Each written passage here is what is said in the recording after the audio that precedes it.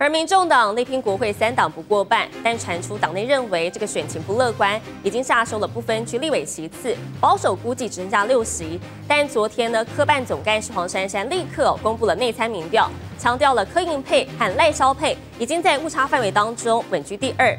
主帅柯文哲在今天来到彰化，继续拼陆战。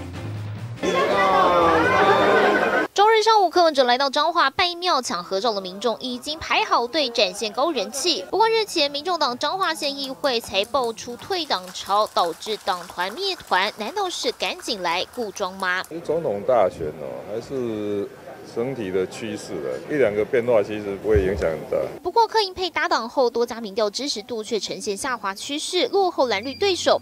传出民众党内也认为选情不乐观，预估部分区立委席次将从八席掉到六席，若不止跌，恐怕连五席都不到，必须强化区域立委选战，锁定台中蓝白河示范区、宜兰和新竹三地，加倍努力。再从那个基准线往上努力啊！